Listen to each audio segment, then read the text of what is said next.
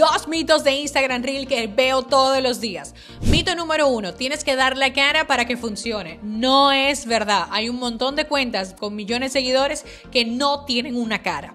Ahora bien, tu marca es de humanos a humanos. Si sales, pues vas a generar más que todo una conexión con tu audiencia, además de las reproducciones.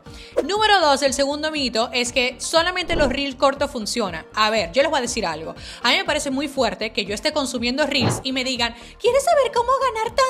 Lee la descripción. No, reel no es para leer descripciones, reel es para consumir el contenido. Entonces, sí es verdad que en algunas ocasiones poner un texto para que hagan pantallazo, la gente tiene que repetir el reels, te va a dar más visualizaciones.